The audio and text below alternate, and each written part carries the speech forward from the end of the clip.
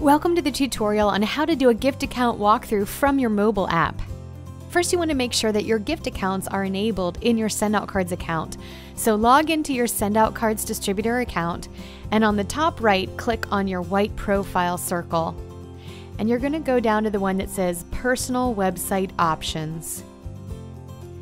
This is where you can customize your own personal website options by making sure you have a personalized URL, a story about yourself, Make sure your email is correct, and you can also add a photograph or a logo. Now you'll notice where it says gift accounts enabled, and you'll want to make sure that that box is checked. And this is where you can set how many points and postage you want a new user to receive when they do a gift account. If you want two cards or three cards, go ahead and set that accordingly. It's three points for a regular greeting card, so nine points would be three cards, and $1.41 would be three stamps at the time of this recording. You can also add extra if you want people to be able to send brownies from your gift accounts, so just make sure you factor in both the points and the postage necessary for someone to be able to send that.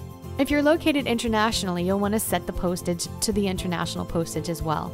Now you'll see where it says number of gift accounts allowed. You can set this number. The default is usually 15, but you can set that higher. And you'll also want to set the number of days that the gift account is good for, where it says gift account lifetime days. You can set this for 90 days or make it even lower if you choose.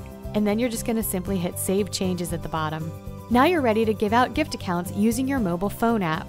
To do a gift account walkthrough from the mobile app, simply have someone go to their iPhone or Google Store and download the SendOutCards app. Once they've done this, they can click on the app and instead of typing a username and a password that they don't have yet, they will simply click at the bottom where it says Send a free card.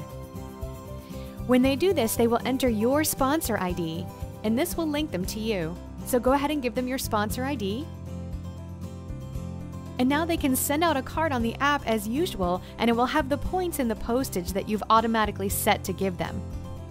So they can either send a card from any other category, or they can do a photo card, and maybe you want to have them do a selfie with you. So go ahead and have them choose a photo card and have them choose whether they want to do vertical or horizontal, and have them add the picture either on the spot or from their phone. Once they've added the photo, you can of course have them customize the inside of the card as well. And when they're finished, they can go ahead and click Add to Cart. Now, if you've added enough points in postage for them to be able to add a gift, they can do that here, or they can just simply click Checkout. Now on this screen, they will need to enter their own name and return address. Not only will this create an account for them, but it will be the return address on the envelope. So go ahead and have them enter this quickly with their own information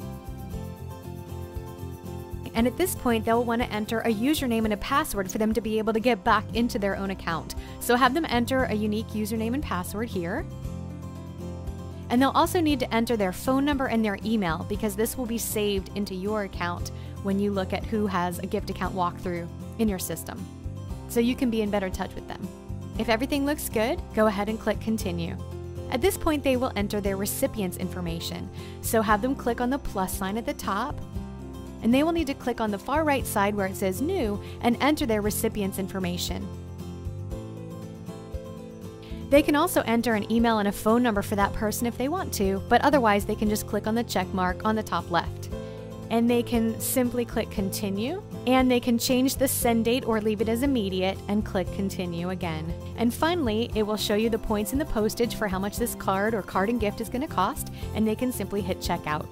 This will not only have let them send out a card to try out the system, but now they have a username and a password to be able to get back in and check their account and send other cards. They can also check their balance at any time by clicking on the three dots at the top and clicking on My Account.